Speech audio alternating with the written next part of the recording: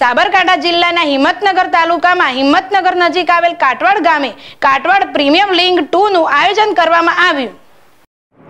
જેમાં કાટવાડ ગામના જ ખેલાડીઓએ ભાગ લીધો હતો. તેમાં છ ટીમ બનાવવામાં આવી. ત્યારબાદ ચાર ટુર્નામેન્ટ બહાર નીકળી હતી. અને આજે બે ટીમ વચ્ચે ફાઇનલ મેચ જેમાં કાટવાડ કિંગ અને કાટવાડ એસકે પાસ્ટલો વચ્ચે રમાડવામાં આવી. તો તેમાં કાટવાડ એસકે પાર્સલ ચેમ્પિયન બની હતી.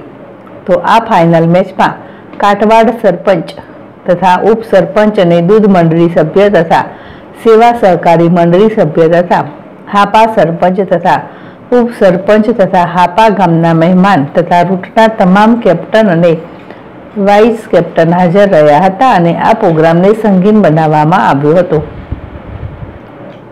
સૈયદ સોએબ ચેડેશ ટીવી, હિંમતનગર.